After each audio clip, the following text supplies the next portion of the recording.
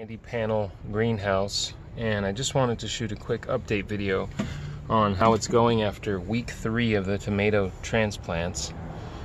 Uh, so I want to show you guys how we're looking after the third week of the transplants. Uh, something very interesting is about two to three weeks prior to starting all these, I filled these pots up with the potting soil and I used Organic Solutions worm castings,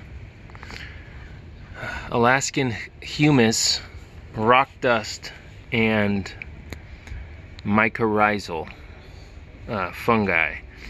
And on four of them, I did it about three weeks early before even transplanting. I did it when I started the seeds for the tomatoes. And on one of them, I lagged and I didn't do till about three days before.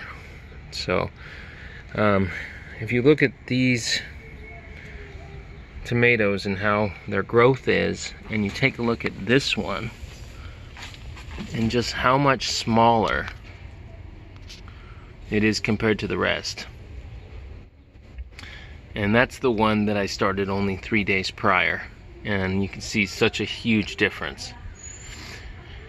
So, um, mainly that's the, that's like the living soil. That's what they talk about. All those beneficial microbes that grow and just, you know, are part of the no-till method. Because when you mix up your soil, you disrupt that biology. So, just wanted to give you guys an update there.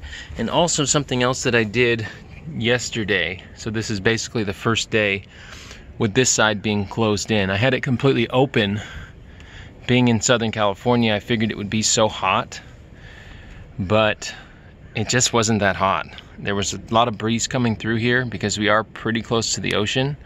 So I went ahead and closed that off and we're gonna see what happens in one week from now. Uh, my guess is it's going to increase the grow rate by quite a bit. I wasn't getting the results that I wanted here. I figured we would be at a much higher grow rate, but we are also limited to only six and a half hours of sunlight in this position. Hence why I put the greenhouse here. I figured we were limited in sunlight, so we'd use the greenhouse, and plus it's just the perfect spot. So, anyways, that's an update. I just want to show you guys. Here it is from the outside. As you can see, walking around the handy panel greenhouse, and here's what I closed in yesterday. Right there. So, about one week, we'll take a look and see how much growth we have.